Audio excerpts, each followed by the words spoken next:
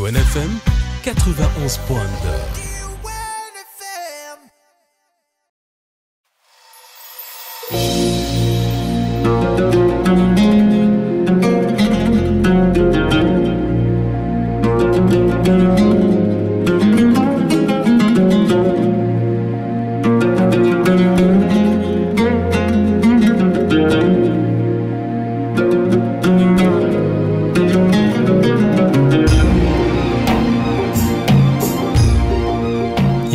يهديك بنوره مع الشيخ عبد الفتاح مورو برعاية أصيل.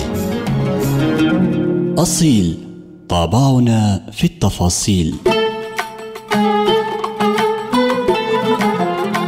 اللهم لك الحمد حق حمدك كما ينبغي لجلال وجهك وعظيم سلطانك تحية طيبة للسادة المستمعين والسيدات المستمعات. فالسلام عليكم ورحمة الله تعالى وبركاته. إيش تبقى في رمضان غير عمر العدو؟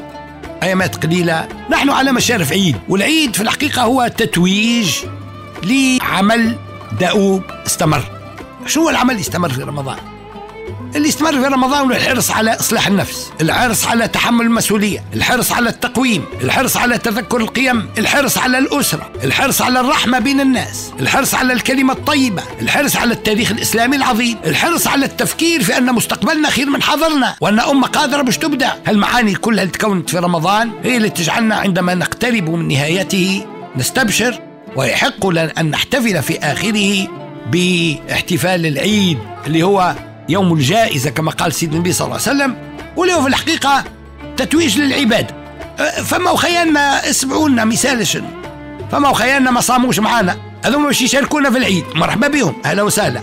برشا ناس يقولوا لا ما عندهمش حق في العيد. يا خويا عنده الحق في العيد. إيش كان عليه؟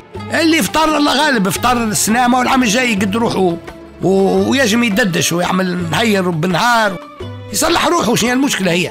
على كل حال هذوك عزاز علينا وحبابنا وخيالنا وأقاربنا وجيراننا. ونستاءوا كيف نلقاهم فطروا رمضان. لكن ما هم الا مواطنين كيفنا وحريتهم تقتضي أنهم يتمتعوا بحريتهم. يا ليت يحسوا معانا هالإحساس الجماعي في رمضان اللي هو إحساس بناء المجتمع. لأنه وراء الصيام وراء الصلاة وراء قراءة القرآن. فما إحساس جماعي يتكون فينا هو أن إحنا متضامنين فيما بيننا. ومحلاه كي نخرجوا من الشر هذا وإحنا حاسين بأن خصومتنا هي ضد غيرنا ماشي ما بين بعضنا. إحنا مجتمع قليل العدد ما يلزمناش نخزنوا الخلافات فيما بيننا إلى حد أن كل واحد بميس ويقدد ويضرب في الآخرين ويحطم فيهم ويسب فيهم ويشتم فيهم. إحنا محتاجين الآن وإحنا خارجين من رمضان باش نظهروا علامة الفرح الكبرى الكبرى هي التضامن فيما بين لبناء المستقبل الطيب لتونس. تونس ما تهونش باش نتعاركوا ما تهونش باش نتخاصموا. ما تهونش باش نتسابوا. ما هوش وقت باش. باش فك ايدي من شوشتك. اليوم إحنا في حاجة باش نمدوا يدينا لبعضنا ونتعاونوا. وهم الزمان يفرض علينا باش البلاد هذه نرجعوا فيها قيمة الخدمة. قيمة العمل لازم ترجع. قيمة المواطن لازم ترجع. المال لازم يدور في البلاد. الثقة بين الناس لازم تتوفر باش يتكون لنا اقتصاد سليم. وهذا الكل يحتاج إلى جهد يحتاج إلى عمل.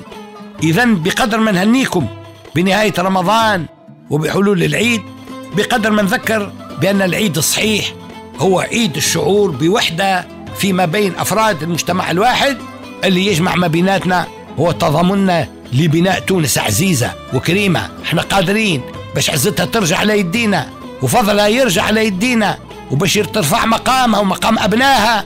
وما نقعدوش نهار كل وإحنا مادين يدينا لصندوق النقد الدولي نقولوا بالله لله الربي. عاونونا واعطيونا. علاش؟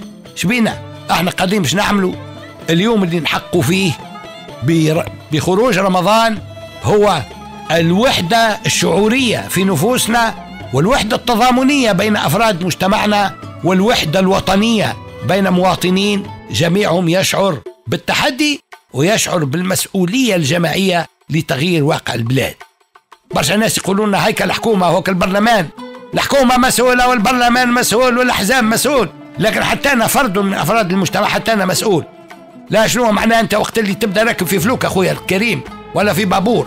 وسي السائق متاع البابور أخطأ وضربها في صخرة ولا في حجرة. وباش تتفرج كون هبطوا كل البحر. يقول لك تفضل أنقذ. قلت لهم لا أنا ما ننقذش. معليش السايق هو المسؤول. عجب. وكيف تبقبق يا أخويا؟ إحنا اليوم كيف نبقبقوا رب كنا مسؤولين. السايق مسؤول. لكن هذاك ما ينفيش مسؤوليتنا حيال وقعنا. ورب يهدينا ويصلح حالنا. والسلام عليكم ورحمة الله وبركاته.